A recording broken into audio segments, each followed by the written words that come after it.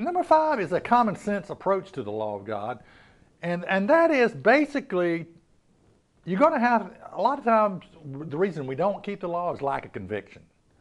People are talked out of their conviction. You know, it's like that little, you know, the story of the parable where, you know, people are, they go to their preacher, or that's, that's the case in many times, they go to their preacher.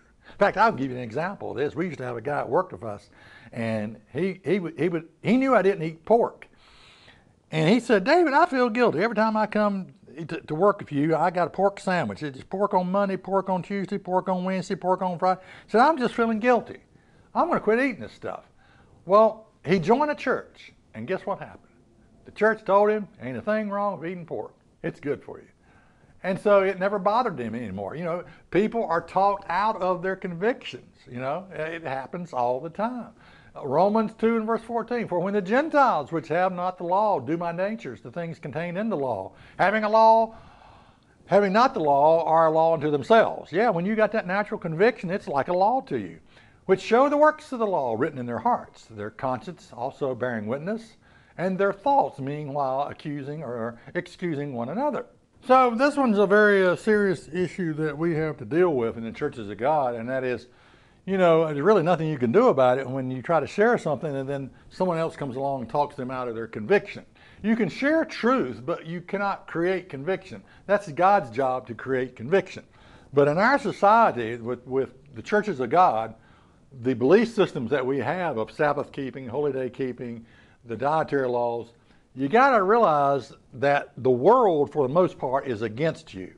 They're going to be teaching and, and, and the exact opposite. They're going to be telling preachers and friends and relatives, they're going to say, nope, you don't have to keep Sabbath. Nope, you don't have to keep dietary laws. Nope, you don't have to keep those holy days.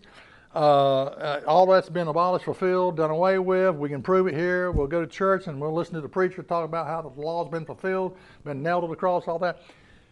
So you really are up against something big here, you know. Uh, uh the prince of evil is what you're up against, you know. Uh, who loves his religion. He just don't want God's people doing what they should be doing. Okay, but he's a very religious being, uh, Beelzebub, that is.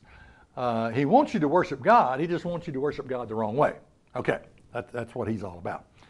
Okay, hi, Brother Dave. Can you do a video explaining why we should keep the dietary laws and his feasts, not just the Ten Commandments?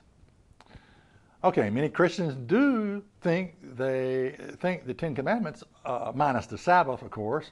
I believe most Christians believe in the Ten Commandments, except one. Okay. And I, I sort of agree with that. You know, if you were to ask most Christians, do you believe it's all right to kill? Do you believe it's all right to steal? Do you believe it's all right to cheat on your wife? They would all say, no, that's a sin.